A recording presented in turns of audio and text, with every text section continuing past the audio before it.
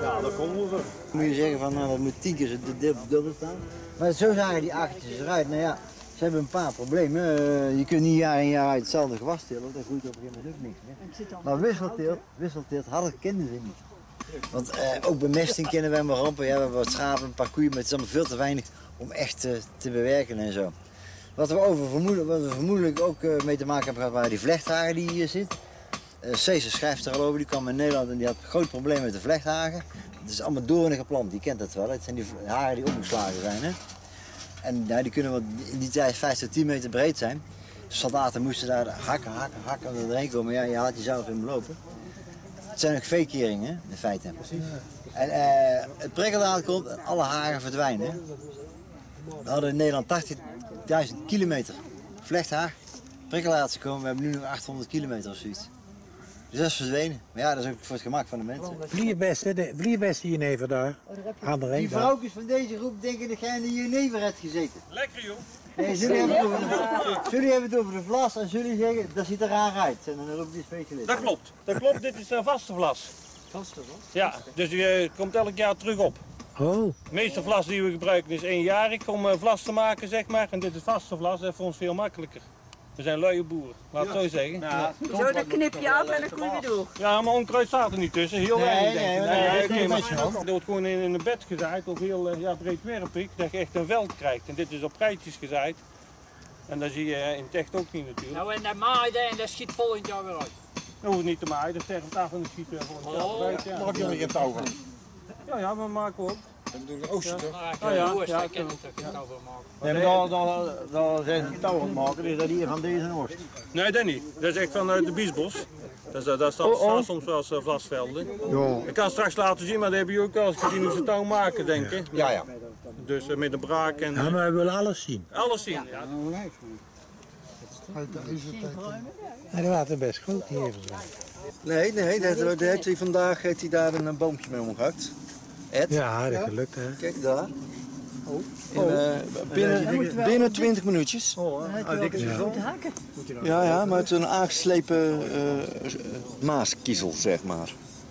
Dus het is niet echt vuursteen dit. Oh, is Terwijl pijl- pijlen die we nou aan het maken zijn, van vuursteen. En die andere werktuigen.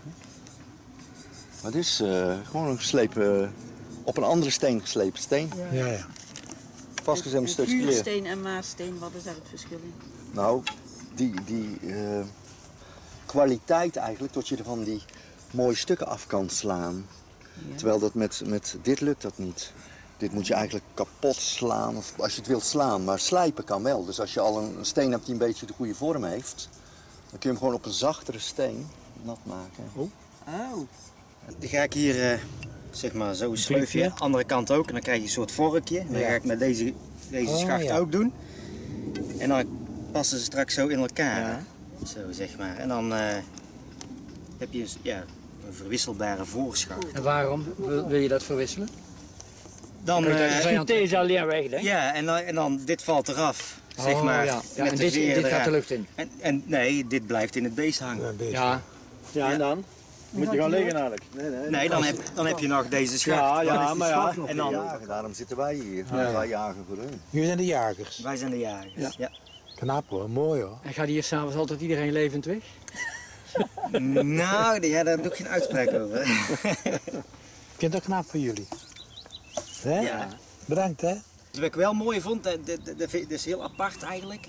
Eh, ze hebben dan veel, eh eh heet dat, middeleeuws wel denk ik. En grafheuvels van Ja, ijzertijd, grafheuvels, bronstijd en zo. Maar dan hebben ze ook van, uit de steentijd een neolithische punt. Ja. Eind misschien, misschien begin bronstijd.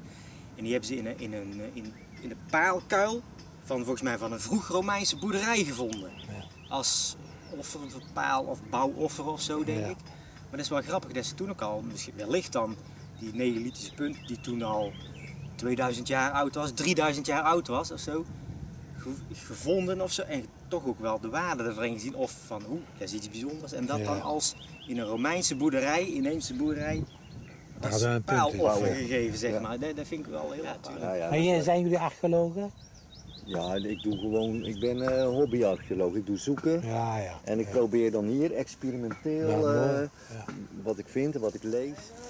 Even, nog even hier kijken. Is. Nog even hier kijken. Knap joh. Ja, dit is bandweven en dit is kaartweven. Oh, Dat zijn twee verschillende methodes.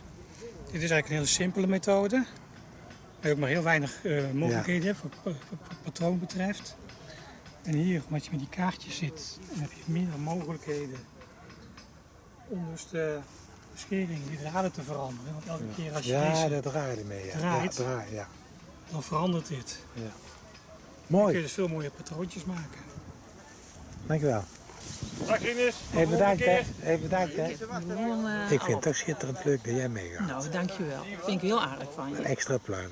Kijk. Schouderklop. Ja.